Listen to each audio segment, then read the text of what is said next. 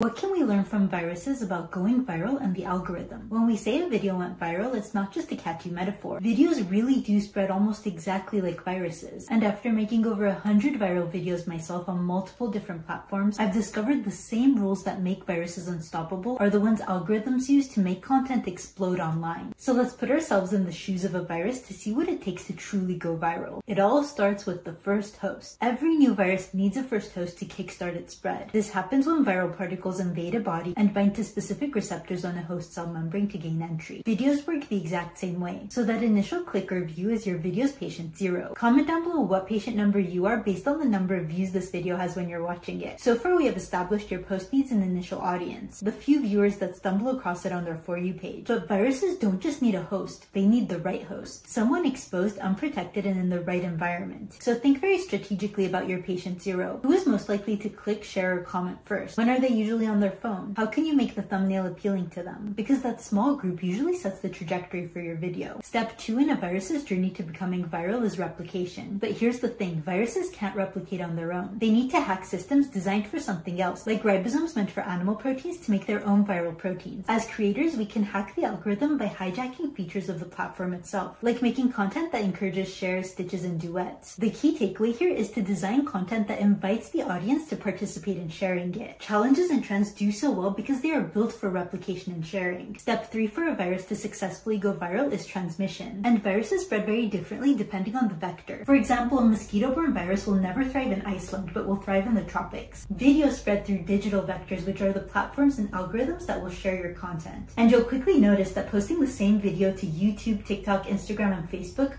will give wildly different analytics results. So identify your strongest vectors that can spread your content the fastest into the right people. Then prioritize growing there before adapting your content for other platforms. Step 4 for viruses to keep going viral is mutation. Viruses mutate to evade immune systems and spread faster. And since these mutations are completely random, only the luckiest survive. So if you're new to creating, don't just post one version of your great idea. Post 10 slightly different ones. I've been testing this out with my YouTube shorts for almost a year now, posting at least two versions of every every video I make. And sure enough, one of them usually performs way better than the other, getting millions of views while the other only got a couple thousand. And when you're starting off, comparing the performances of these slightly different versions of the same video will help you understand the tiny changes you can make to make more of your videos go viral. The takeaway here is to post several variations of your video and let the fittest survive. The last important factor for a virus to go viral is the R number. It's basically the average number of people one person can infect. Epidemiologists obsess over R naught because it predicts a virus's destiny. If it's above 1, the virus can spread exponentially, but when it's below 1, it quickly fizzles out. Videos follow the same math. If each viewer convinces the algorithm to share your video with more than one other, you get exponential growth as views, likes, shares, and comments compound to force an algorithmic pandemic. In conclusion, viruses are not clever. They don't strategize. All they do is exploit systems ruthlessly. Stop trying to brute force attention and start exploiting the biology of these platforms. Then let the algorithmic chain reaction do the rest. But always remember, the most successful viruses keep their hosts alive, adapt, and coexist with them. So focus more on making evergreen content that stays relevant, useful, and rewatchable while also adapting to your audience's changing needs over time. Other than that, going viral is actually pretty easy. I mean, if a virus can do it without a huge brain, so can you. And as always, if you love these videos as much as I love creating them, don't forget to like, subscribe, and share it with a friend that wants to go viral. See you in the next one.